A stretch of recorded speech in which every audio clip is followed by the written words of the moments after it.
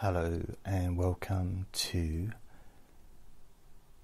Stress Anxiety Hypnosis.com.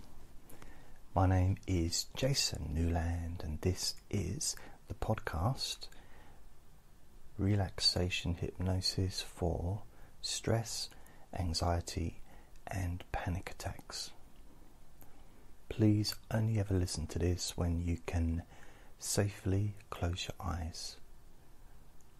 You can support this free service that I offer um, quite a few different ways. You can share the share the recordings on Facebook, Twitter, Instagram, places like that, um, or you can go to my website and you can uh, help to support the covering costs of running this service. So thank you in advance. So as I was walking into my bedroom to make this recording, because I'm sitting on the edge of my bed, probably more information than you need, but Andre's asleep in the living room, so I'm kind of in here so that I don't disturb him because when sometimes when he's awake he is wide awake. And uh, sounds like the the ending of a hypnosis, hypnosis session doesn't it? Wide awake wide awake. So um, I was thinking what about practical ideas to help with uh, situations of stress? What about practical ideas? Not just all this uh, hypnosis ideas of relaxation and ways that you can um, prepare yourself or how to change the way you felt about something that happened in the past or you know things like that which is what I usually do, sort of mainly. Obviously, not to put that down because it's, it's what I do and it's what I believe if you listen to these this podcast every day, maybe even if you listen to if there's a particular recording that you like, then I mean, what I do in those situations is I listen to it every day, as well as listening to the next day's recording or the, the new one.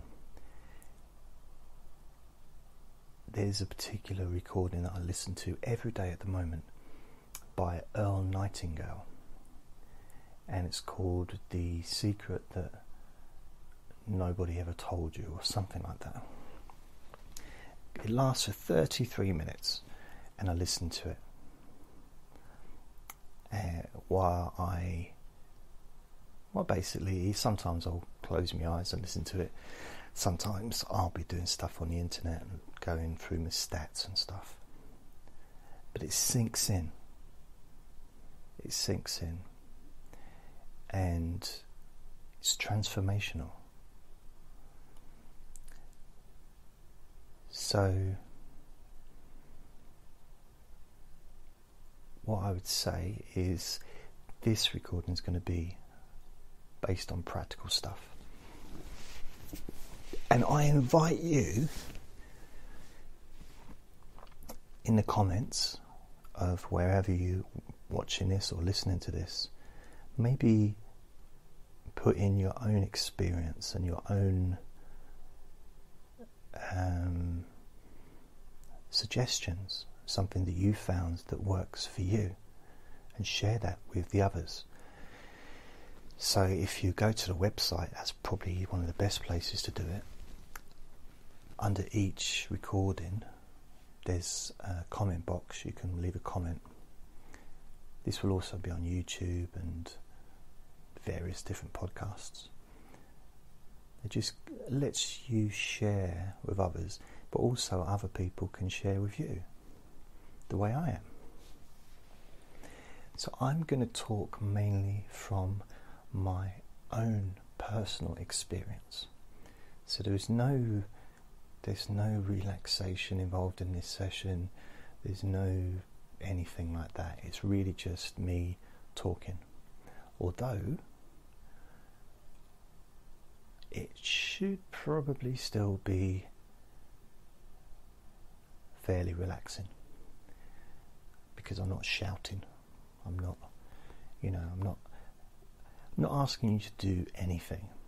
Although I will be making some recordings in the future where I will ask you to do some stuff that might even involve standing up and moving around, but not in this recording. And of course, if you do, when you do listen to those recordings, you know, you can obviously open your eyes, otherwise, you'll end up banging into things. Um, but even those still keep your eyes closed no, that's not. Right, But make sure you only listen when you can safely close your eyes. So don't listen to anything that I do when you're driving. So, where do we start? Where to start? How to practically help to, you can say, reduce the stress level, or you could say, what do you do to prevent the stress level from rising in the first place. So, there's one thing that I've been doing lately, and I might have mentioned it, is I've got some headphones for because I've got an iPhone. I had it on a contract, and that's all paid off now, so that's done but the headphones that came with it had wires, and I think my ears. I think I've got abnormally large, are- not areolas. That's the nipple, isn't it?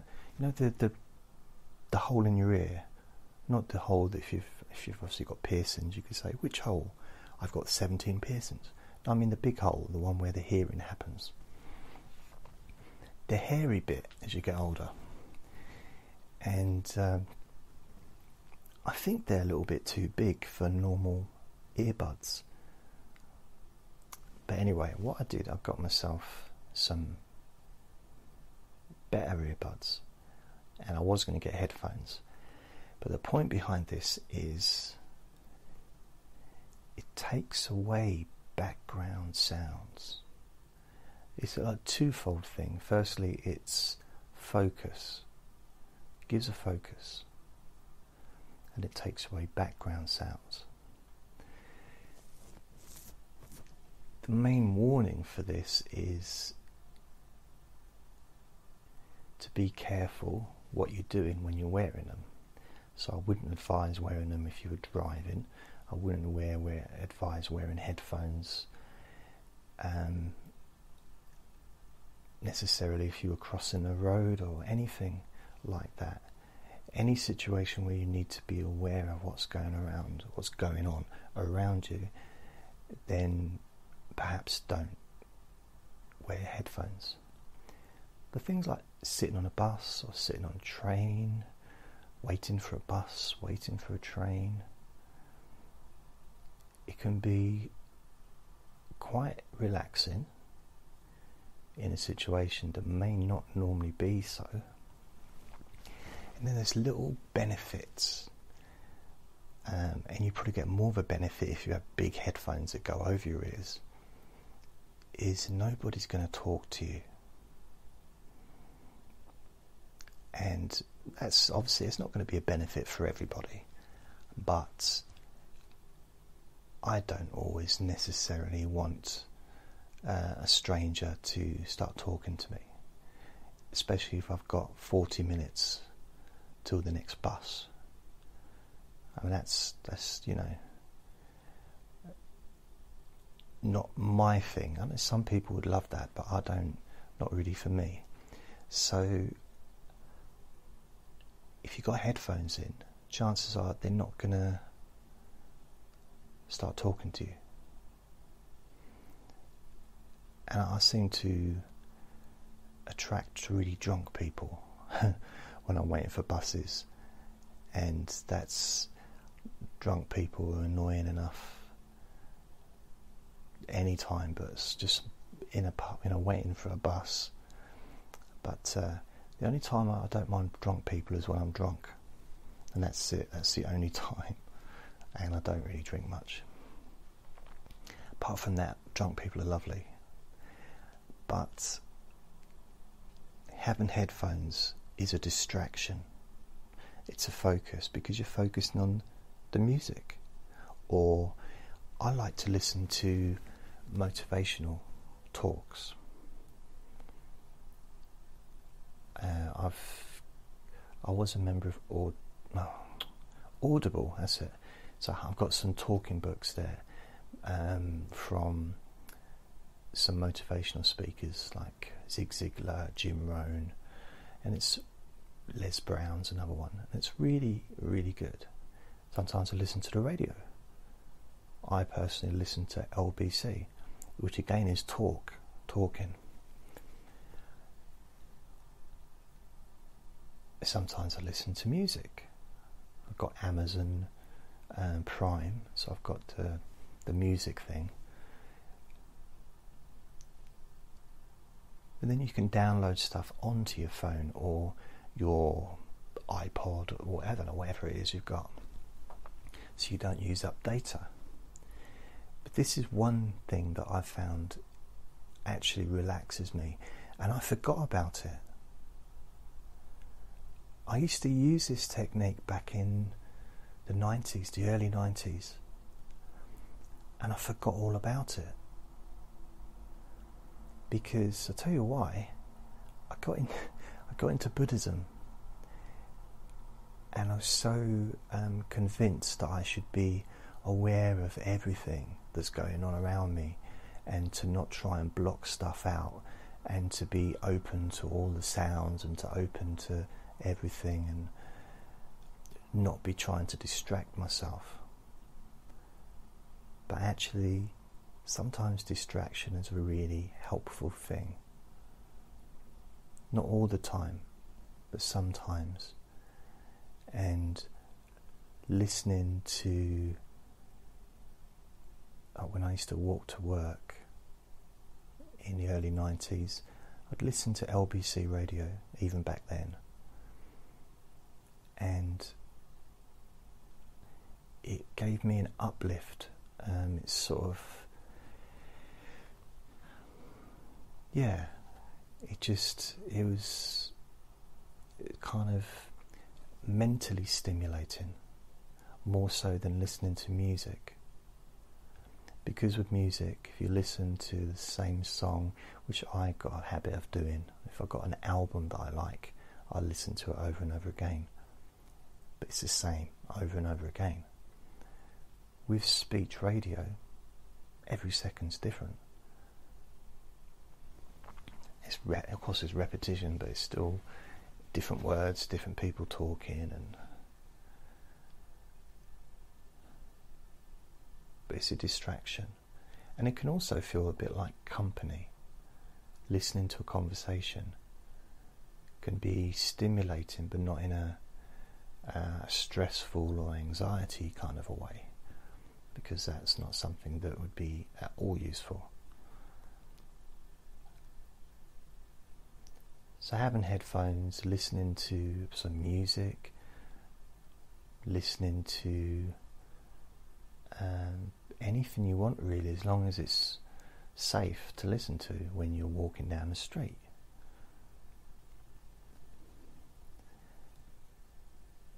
So, other ways, practical, practical ways, can you increase your sense of relaxation, decrease the potential of stress or panic? Well, what you wear can have an effect. Are you comfortable with the clothes that you're in? It might sound like a kind of strange question. But how relaxed can you be when you're wearing trousers that are just a bit too tight, or you're wearing shoes that are maybe high heeled shoes that are nipping into your ankles or to your heels. Maybe you've got blisters.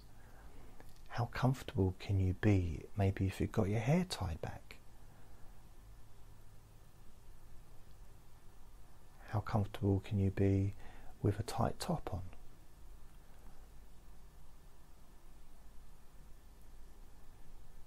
So it's things like that that can actually make a big difference. Something as simple as making sure you've got the right size bra, the right fitted bra, so that actually you're supported. And I'm not an expert on bra fittings, but your waist, your, your stomach, you think about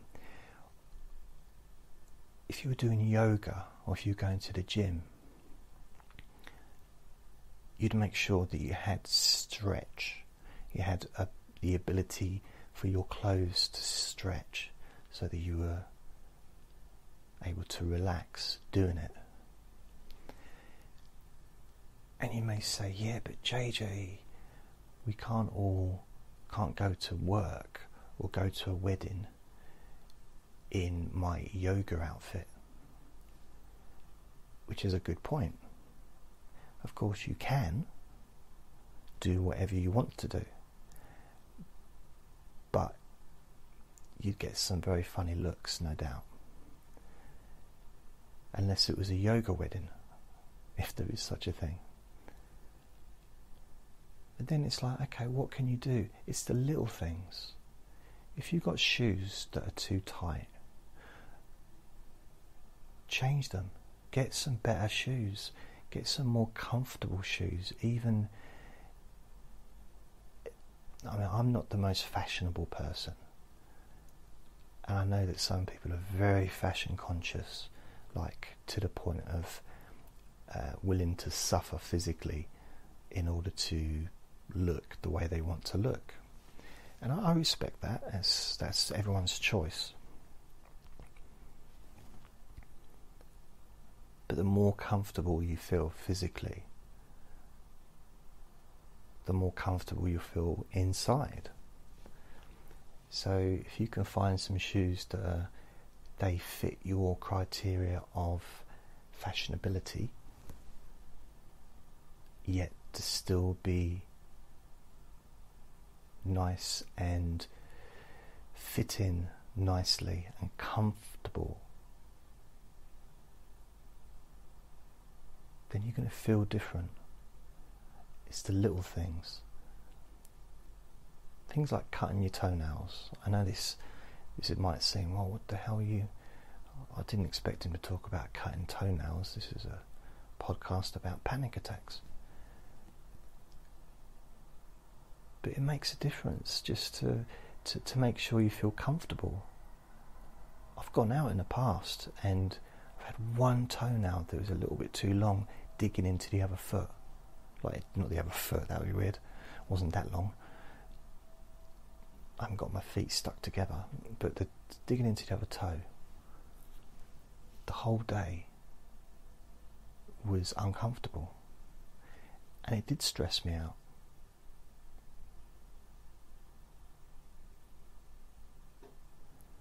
Because there was nowhere that I could go. I mean, you know, but that's just some people really do keep their toenails short and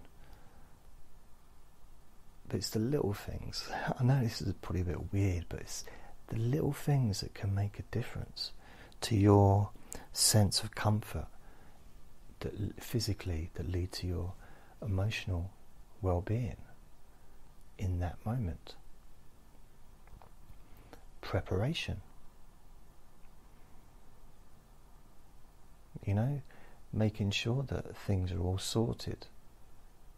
So if you do, I don't want to keep coming back to weddings, but that's one of my, like a public situation with lots of people, not my favourite thing. Really, you know, it's it's really down there with the things that I really, uh, for me, stress inducing. And I went to a wedding and all I had was a suit. I, don't, I mean, I mean I, I did have underpants and a shirt and a tie and socks and shoes and hair, but I mean, or I only had that one suit, and I had a shirt that was that I hadn't worn for ages. It was a white shirt, and it was too tight on my belly, and the suit was okay as far as it fitted me fine, and the shoes. Um, I think the shoes were okay. I think but the shirt was too tight, which meant I was uncomfortable when I was sitting down. Standing up wasn't so bad, but sitting down uncomfortable, and it was really hot in the the evening when we had the dinner and everything. Uh, a late afternoon, it's really hot in there, and I couldn't take the jacket off because my belly. I was because it looked like I was pregnant.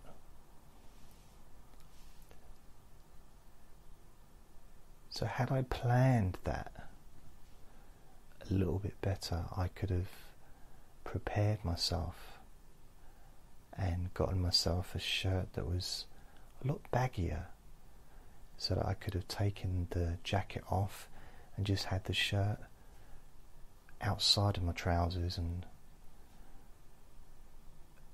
I'd have felt a bit more relaxed within myself, which would have reduced the stress levels that I had. Practical things. Even travelling. You know, not leaving things to the last minute so that you have to run for the train or run for the bus ah, this is so obvious and so simple. And I realise that. But you know, some of the most obvious and simple stuff is the stuff that actually can make a difference. And the amount of times that I've got up, I've, I've left things to the last minute, and I've had a bath, or breakfast, got dressed in 15 minutes and then run to get the bus and then run to get the train and just made it. Which is a really horrible way to start the day for me. It's, and you know, instead of just starting an hour earlier, could have had a slow bath, relaxing breakfast, walked up slowly to the, well, got dressed, then walked up slowly to the bus, maybe got the earlier bus so I didn't have to run for the train.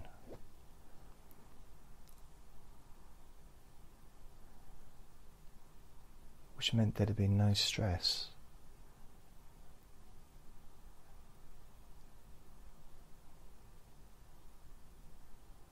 which meant I wouldn't be getting onto the train sweating and panting.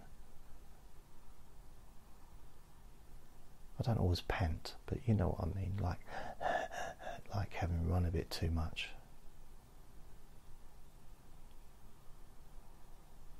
Not like a dog that's kind of needs to have a drink, but probably similar.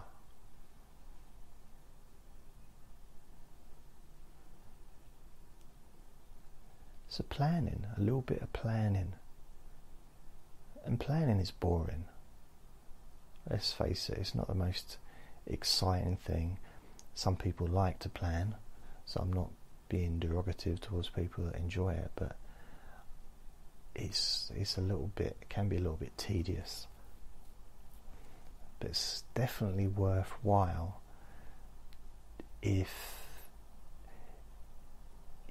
if you can foresee you're doing something and you know that in the past that situation has uh, caused a lot of anxiety and stress in the past. It's a case of looking at that situation. What would have made it easier?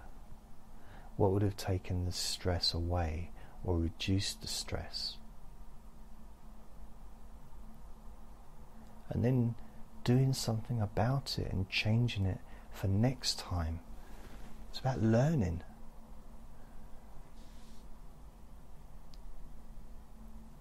And I've I've repeated loads of pointless behaviours in my life. Loads of times, probably thousands and thousands of times that I've not learnt. So I'm not kind of I'm not coming from an angle of Mr. Perfection because I'm far from it. But these are ideas of ways to make things a little bit easier so that because sometimes that anxiety can be triggered by a stressful situation.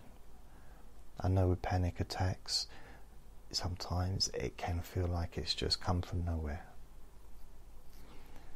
Although often, if you were able to trace back your thought patterning, your thoughts before that first anxiety feeling occurred, you may have been thinking about something that triggered that feeling, that initial feeling that led to that anxiety.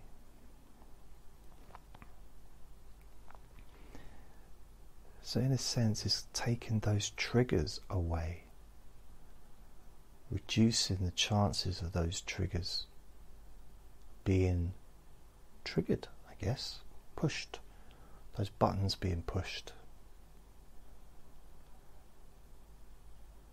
So if you reduce the ones that you know about, at least there's less chance of that leading to the maybe the triggers that you don't know about being activated.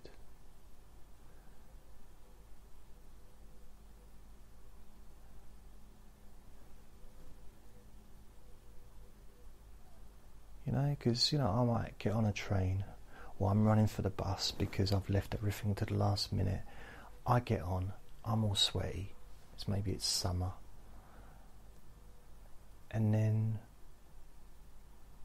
perhaps someone will get some air, you know, not air freshener, but some deodorant or perfume and start spraying it, not at me, but in a way that I'm thinking, oh, so they're saying I stink or I'll just be in a bad mood. And then my bad mood perhaps leads to me being oversensitive or rude, even to other people. Not like horribly rude, but just not particularly pleasant. And then another person may react to me not being particularly pleasant and their reaction could trigger my anxiety. It's like a roll on roll on effect.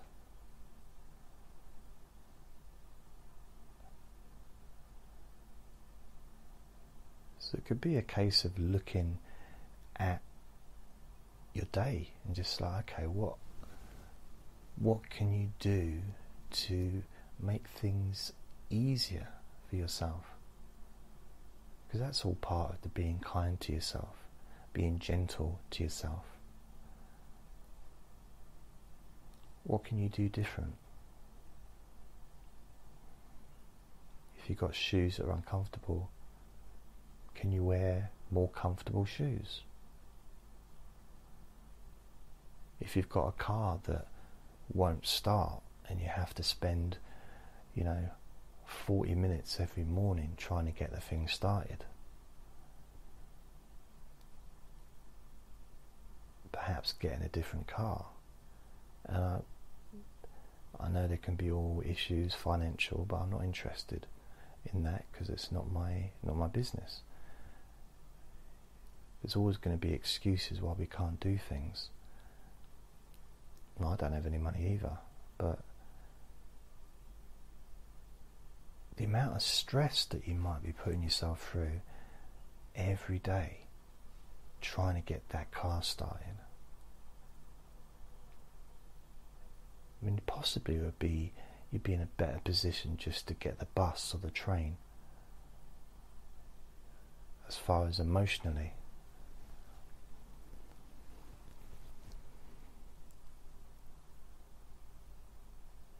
Imagine if every day you got woken up by a, a bucket of cold water just poured over your face. You're in bed asleep and someone chucks a bucket of cold water over you. And that's the way you wake up every day. How many good days are you going to have? How, how many really pleasant starts? You know, how often are you going to feel really good at the beginning of the day? I can say in my situation it'd be zero. Apart from the fact that I'd end up in prison if someone did that to me, but you know, without going all that way, it's it'd be a horrible way to wake up. But in some ways, we do that to ourselves in perhaps not as a drastic way, but in other ways, like maybe leaving it too late for the alarm, staying up too late in the evening, maybe.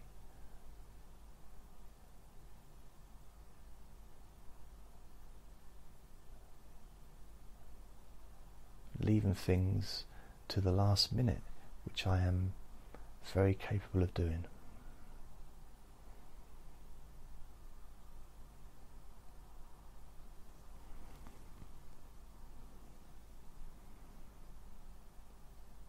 So, what can you do practically to change or prepare your day ahead or your week ahead or some specific event? What can you do to change your experience of that event?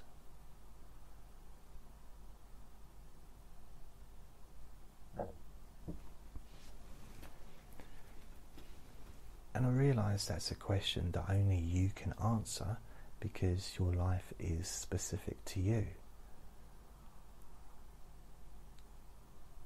They're those practical things. It's like I live in this flat and I had one incident where the light bulb went out sounds like a really interesting story, doesn't it? It'll be, oh, remember that story Jason told about the light bulb when it went out? Well, that was interesting. That was life transforming. No, the light went out, and then my friend, because I'm not very tall, so he he's he just can put it in without standing on a chair, and I don't I don't trust my chairs to take my weight not standing on them. So he put the light bulb in and it broke.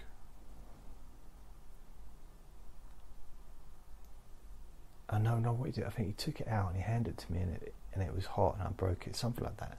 So I didn't have a light bulb. And anyway, I kind of I got very my stress levels really went up because I didn't have any light in the in the living room. And you could say it's such a small thing, but at the time it was bigger than it needed to be. Not the living room; it's the same size. And just it's just it just got to me for some reason. So I thought afterwards, what can I do to prevent this happening again. So that weekend, I ordered a big pack of light bulbs. And I admit that is probably the most boring story you'll probably ever hear. Yeah, I'm not pretending that was that is definitely not a wedding speech. I'm stuck on the idea of weddings today. But now, a light bulb goes out, I just change it. The same as with batteries, I've got a supply of batteries that I can use. In fact, I stock up in quite a few things. I've got stock up on deodorant, soap, toothpaste. Sometimes I've literally got a storage cupboard full of all kinds of stuff that would last for six months.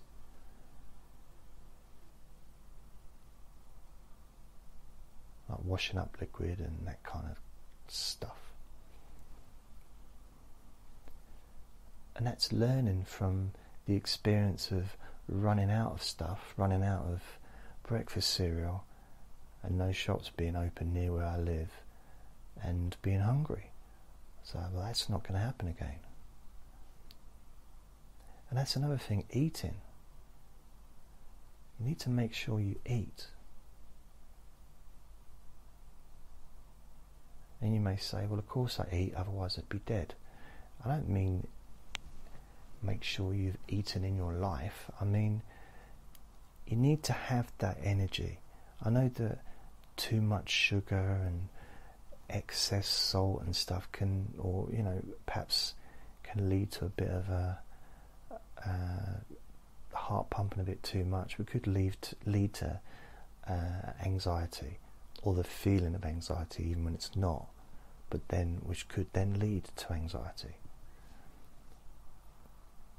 But you need to eat. You need to make sure that you've had your food before you leave the house. If you you know if you're going in the morning, make sure you have your breakfast. Don't go too long without eating. Don't go like the whole day without eating. Need to eat. Because I know that I get grumpy if I haven't eaten. I know that I feel a bit ill if I go too long without eating.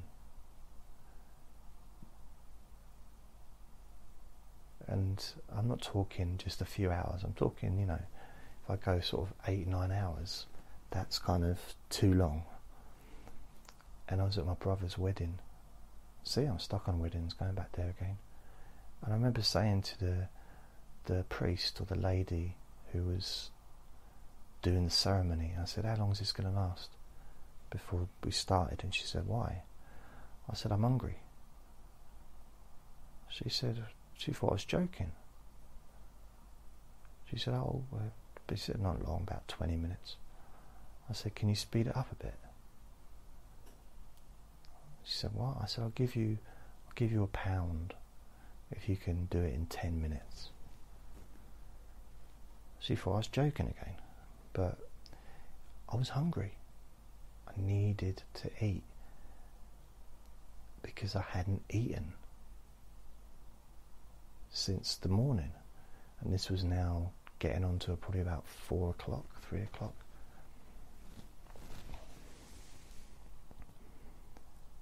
So it's about taking care of yourself physically as well as emotionally but the physical side is really important as well. Making sure that you're comfortable, that your clothes fit in a way that it's not causing you discomfort. It's not about feeling a million dollars, although that's probably useful for feeling quite good about yourself. It's about comfort.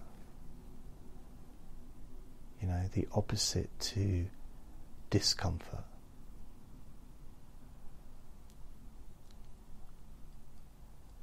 So, whatever that entails, even if it means if you've got a journey to go on a train travel when it's quieter.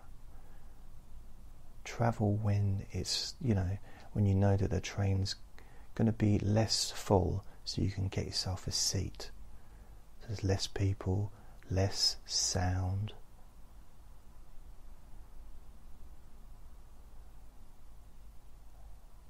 You know, little things. Make sure you got your ticket with you when you get off the train, or easy access to the ticket when the ticket inspector comes. So you haven't got to spend five minutes getting stressed looking for it in your handbag or your your bag or your coat or wherever. Just little things that really can make the difference. It doesn't take much brain power to to prepare. It doesn't it doesn't take a lot of energy to prepare. It's just perhaps a little bit tedious doing it.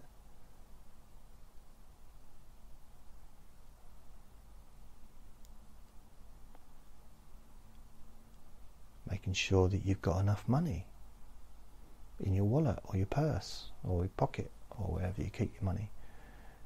In your bra or in your socks. I don't know. People keep their money in all different places. Instead of relying on the cash machine, the ATM, instead of relying on that to be open the other side of the train or the the place you're going to, what if it's closed? What if it's out of order?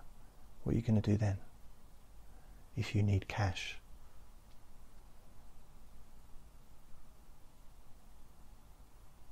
It's just those little things that really reduce the stress. And you know, I realise we can't be prepared for everything.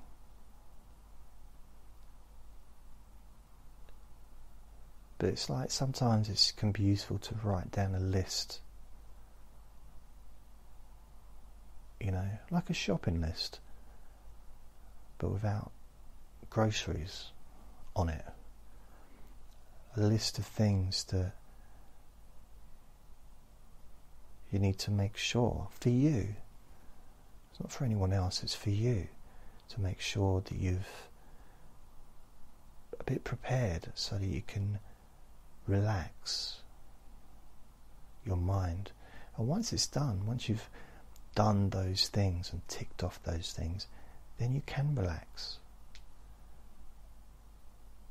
Because in the case of a train journey, ticket person comes along, your ticket's there. You've got it in your top left pocket where you always keep it.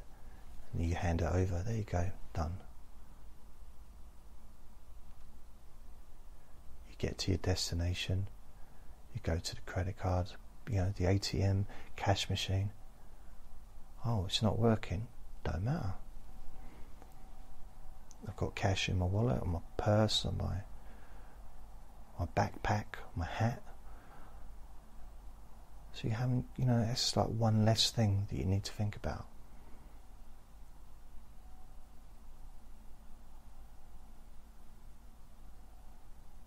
It's like a bit of preparation. Instead of preparation H, preparation R. Preparation relaxation. Preparation relax.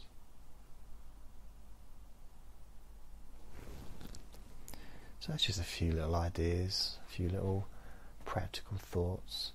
And I realise I'm not even really not even touched the sides on this one. I mean, there's so many different things that you could make changes for yourself. And because I don't live your life, I don't know what your circumstances are as far as work, uh, socially, family. Uh, so you can start maybe looking and noticing when you feel uncomfortable. And then think, well, why why am I feeling uncomfortable? Is it because of how you physically feel? Is it because you're hungry? Is it because you've eaten too much? Is it because of the clothes you're wearing are too tight or too loose? When I was younger, a lot of things happened when I was younger. I used to be really, really skinny. Now I'm the opposite to that now. But my trousers used to fall down. I don't mean literally down to the ankles, but they used to, I used to be constantly pulling my trousers up. All I needed to do was get a belt. That was it.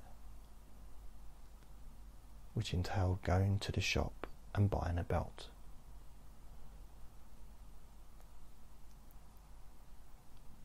Kept putting it off, and I'd be getting so frustrated with the trousers, having to keep pulling them up. Even when I was walking down the street, keep pulling them up every, you know, every like 10 minutes. Then I got the belt eventually. No longer had to pull my trousers up. It was sorted, done, instantly. Just for the sake of a little bit of effort and I don't know, probably five pound ninety nine to buy the belt.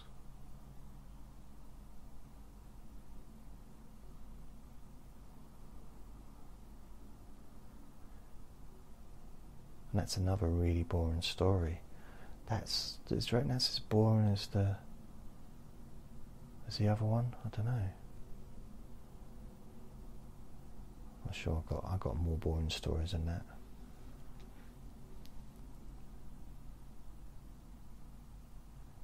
So just have a have a think maybe of the things that you find you get uncomfortable, the places when you get uncomfortable.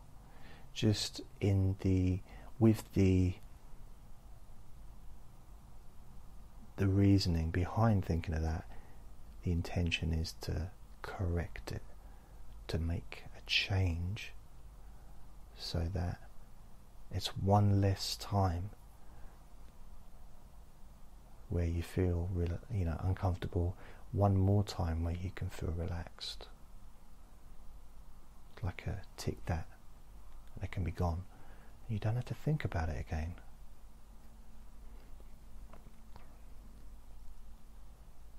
you know if you and I've done this myself if you tread on an upturned plug that's on the floor and you've got no shoes or, or anything on it's uh, one of the most ex- the worst pains ever. It's really so painful. Those pins digging into your foot. Now, if you leave that plug where it is and continue to walk around without any shoes on, then that means you're not learnt from it. And there's a good chance it's going to happen again.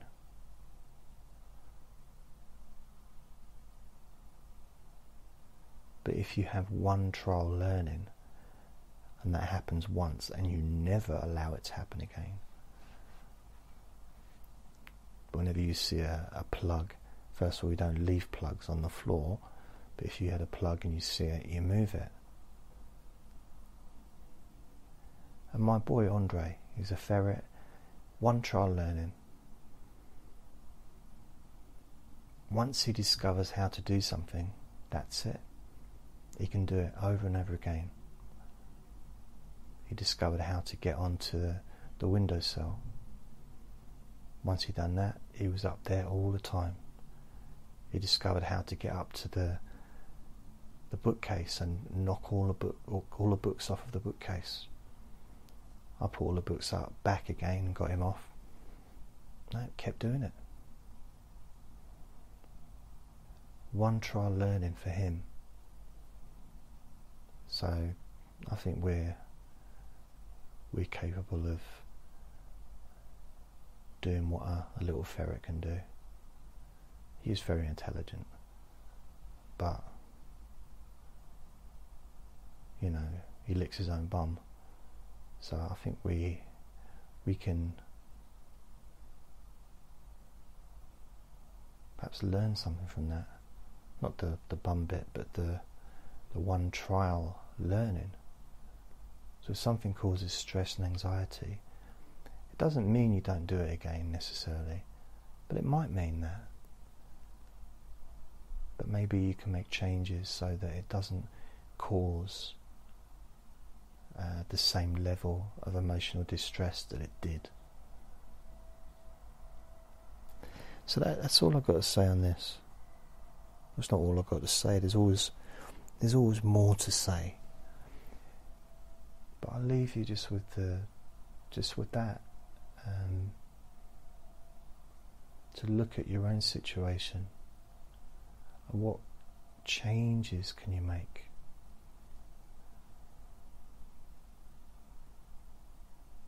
You know, I've got I've got a million different examples probably that I could give, but then that would be a really long recording, and they'd just be my experiences.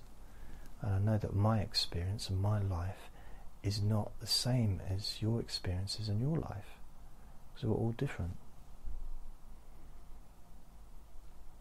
So I wish you well, and I shall see you next time or speak to you next time. Take care.